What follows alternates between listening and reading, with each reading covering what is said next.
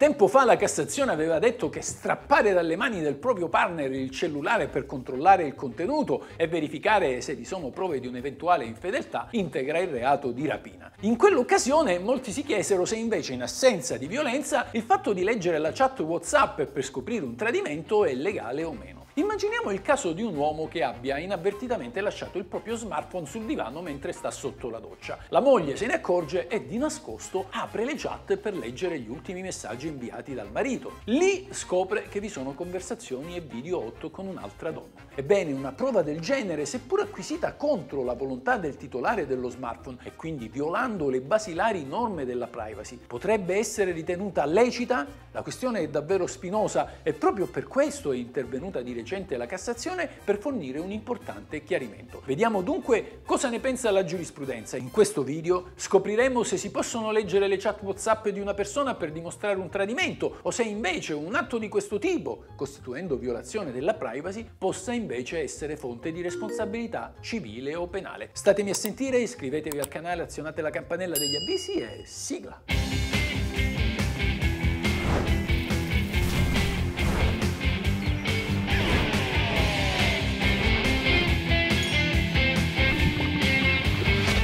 Questa è la legge! In passato ci sono stati numerosi giudici che hanno ritenuto utilizzabili all'interno di un giudizio civile prove ottenute in modo illecito, ossia violando le regole sull'altrui riservatezza. Un esempio? L'8 maggio del 2013 il Tribunale di Torino aveva detto che il codice di procedura civile non contiene alcuna norma che vieti l'utilizzo di prove acquisite in modo illecito, ossia commettendo un reato contro l'altrui privacy. Al massimo il giudice chiamato a decidere del singolo caso dovrà valutare di volta in volta il bilanciamento tra i due interessi in conflitto, quello della riservatezza e quello del diritto alla difesa. Questo significa ad esempio che chi entra nell'altrui casella di posta elettronica o clonando o intercettando l'account WhatsApp e riesca così a leggere una conversazione segreta potrebbe portare queste prove sul banco del giudice per far valere un proprio diritto. Potrebbe essere essere per esempio un atto di infedeltà del dipendente verso il datore di lavoro o magari, come nel nostro caso, un tradimento coniugale.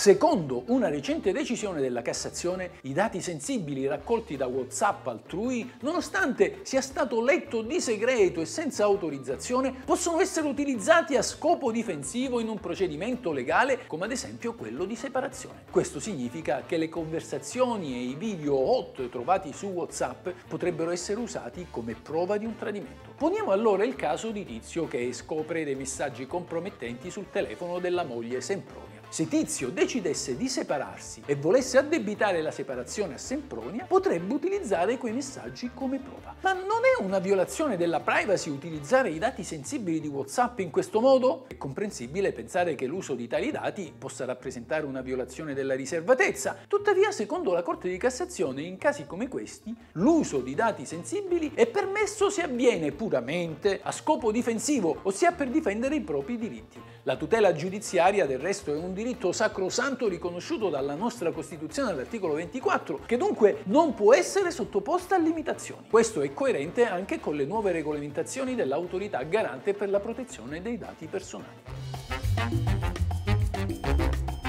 La prova del tradimento può influire sulla decisione del giudice di addebitare la separazione a uno dei due coniugi. Con l'addebito il coniuge responsabile perde, se mai ne avesse avuto diritto, la possibilità di chiedere l'assegno di mantenimento. Inoltre perde la qualità di erede legittimo. Tuttavia è necessario dimostrare che il tradimento sia stata la causa effettiva dell'intollerabilità della convivenza coniugale. Pertanto chi riesce a dimostrare che la crisi coniugale sia iniziata prima dell'infedeltà non subisce l'addebito diritto, ma ha l'onere di provare questa circostanza. Riprendendo l'esempio di Tizio e Sempronia, se Tizio vuole addebitare la separazione a Sempronia a causa del suo tradimento, dovrà dimostrare che è stata l'infedeltà di Sempronia a rendere intollerabile la loro convivenza. Se Sempronia invece sostiene che la loro crisi coniugale era iniziata prima del suo tradimento e per altre ragioni, sarà lei a dover dimostrare queste ragioni.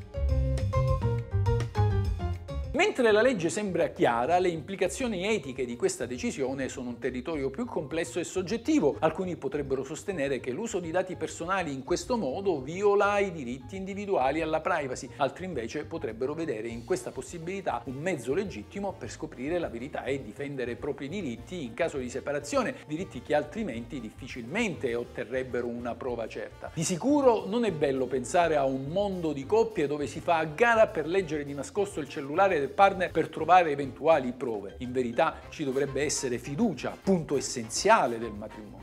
Tuttavia è cruciale ricordare che sebbene la legge permetta l'uso dei dati sensibili a scopo difensivo, ciò non dovrebbe essere interpretato come un avallo alla violenza. Come vi ho detto in apertura, si può leggere il cellulare solo se questo è incustodito e non anche se si trova nelle mani del partner strappandoglielo di dosso. Questa è la legge.